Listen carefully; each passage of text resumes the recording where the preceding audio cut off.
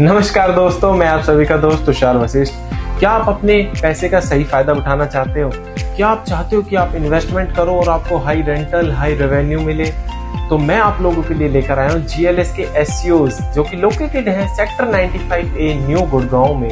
अगर इसकी कनेक्टिविटी की बात करें तो दो मिनट में पटोदी रोड, दस मिनट में के और पाँच मिनट में आपको मिलेगा द्वारका एक्सप्रेस वे।